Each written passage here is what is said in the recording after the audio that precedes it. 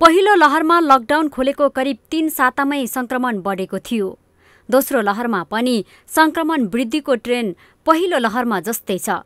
साउन सात गतेदेखि काठमाडौँ उपत्यकाको तिनैवटै जिल्ला प्रशासनले क्रमशः निषेधाज्ञा खुकुलो बनाइएको थियो।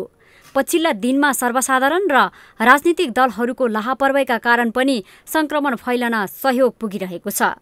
दोस्रो लहरमा सबैभन्दा बढी उच्च बिन्दु मानिएको वैशाख अठाइस गते एक्काइस हजार तीन सय सोह्र नमुना परीक्षण गर्दा नौ हजार चार सय तिरासी जनामा संक्रमण पुष्टि भएको थियो। त्यस्तै असार बिस गते दोस्रो लहरमै सबैभन्दा कम एक हजार छ सय तिनजनामा संक्रमण पुष्टि भएको थियो। तर पछिल्ला दिनहरूमा संक्रमण दर लगातार बढ्दै गएको छ। साउन पाँच गते तीन हजार एक सय तेइसजनामा संक्रमण देखियो। तीन दिनसम्म केही कम भएको दैनिक थपिने संक्रमित साउन नौ गतेबाट तीन हजार एक सय चौध पुग्यो। साउन दस गते दुई हजार दुई सय सडतिस पुगेको नयाँ संक्रमित संख्या एघार गते तीन हजार चार सय एक्काइस र बाह्र गते आरटिपिसिआर र एन्टिजेन गरेर तीन हजार आठ सय उनासय पुग्यो। पछिल्ला केही दिनको स्वास्थ्य मन्त्रालयको यो तथ्याङ्कलाई हेर्ने हो भने संक्रमण दर निरन्तर बढिरहेको छ। पहिलो लहरमा लकडाउन खुलेपछि मानिसले जुन गल्ती गरेको थियो अहिले पनि त्यही गल्ती दोहोऱ्याउँदा संक्रमणले भयावह रूप लिन सक्ने चिकित्सक बताउँछन्।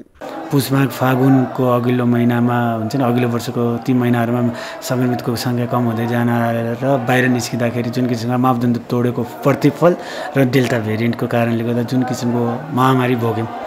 हामीसँग त्यो भाइरस अझै पनि छ। हामी जम्मै सम्पूर्ण खोपको परिधिमा आइसकेको अवस्था छैन। पक्कै पनि त्यो बेला आउँछ जम्मैजनाले खोप लगाउने दिन आउँछ।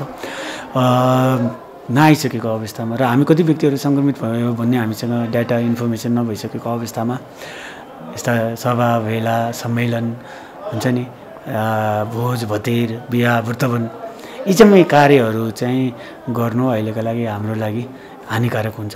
यसले पक्कै पनि कोरोना सङ्क्रमितहरूको सङ्ख्या बढाउन जाने हेलचक्राइ गर्ने भने फेरि जुन वैशाख जेठको अवस्थामा नपुगौँला भनेर भन्न सकिँदैन। अहिले फेरि डेल्टा भेरिएन्ट र यसको म्युटेन्ट डेल्टा प्लस सक्रिय देखिएको स्वास्थ्य मन्त्रालयले जनाएको छ।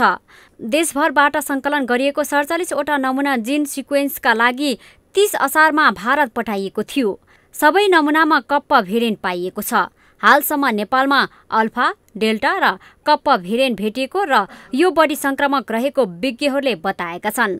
महामारीको जोखिम कायम रहेका बेला गरिने भिडभाडले अर्को लहर चाँडै आउन सक्ने जनस्वास्थ्यविद बाबुराम मरासिनी बताउँछन्। होइन त्यो पनि एउटा कारक त त्यो पहिला पनि अब यो चैत वैशाखतिर चैत के अरे फागुन चैततिर जुन माघ फागुन चैततिर धेरै धेरै राजनीतिक भेलाहरू धेरै धेरै गरियो। त्यसपछि अनि त्यहाँबाट चाहिँ अब यो सबै चिज होइन मान्छेले चाहिँ नि यो यो के अरे भोज भतेरहरू ज्यादाहरू भयो। त्यो कारणले गर्ले सट्टै फैलिएको थियो। त्यही किसिमले अब अहिले पनि अब के हुनसक्छ भने त्यस्तै किसिमको परिस्थिति चाहिँ आउनसक्छ। उपत्यकामा अहिले पनि निषेधाज्ञा जारी नै छ। आइतबार उपत्यकाका तीन जिल्लाका प्रमुख जिल्ला अधिकारीको बैठकले सुरुमा नै सबै प्रकारका सभा सम्मेलन जुलुस गर्न खुल्ला स्थानमा मानिस भेला नगर्न आदेश दिएको छ। तर सरकारको आदेशको कहीँ कतै पालना भएको देखिँदैन। अहिलेको सरकारले पनि सङ्कटको बेला जनताको जीवन रक्षा गर्ने पहिलो प्राथमिकतामा राखेको बताउने गरेको छ। तर भएको खोप पनि अभियान चलाएर जनतालाई लगाउन नसकेको भन्दै चर्को आलोचना हुने गरेको छ।